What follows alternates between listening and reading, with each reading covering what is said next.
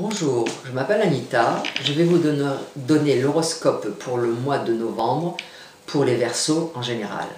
Aujourd'hui, je vais vous parler d'un aspect dissonant qui sera exact le 10 novembre.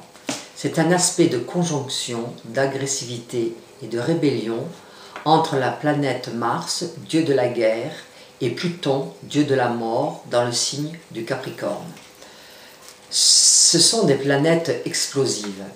La rencontre en conjonction de Mars, qui représente la tête, le sang, l'acte, et Pluton, rébellion, négation, mort, force de transformation, va manifester un climat cosmique tendu et préjudiciable à l'équilibre individuel comme collectif. Un regain d'énergie destructrice devrait se remarquer au moment de cette conjonction. Cet aspect a une puissance importante pour agir, détruire, transformer avec beaucoup de combativité.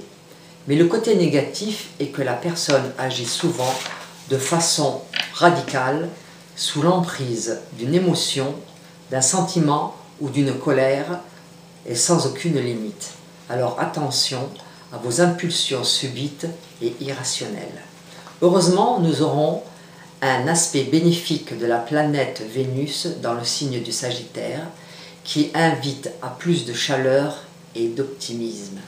Le signe du Sagittaire incite la planète Vénus à bouger, à changer, à se transformer. Jamais médiocre ni restreinte, appelée à aimer ce qui est au-delà du monde, avoir foi dans l'amour. Le soleil, ce mois-ci, fera halte dans votre maison solaire 10. Ce secteur de votre thème symbolise vos chances de réussite professionnelle.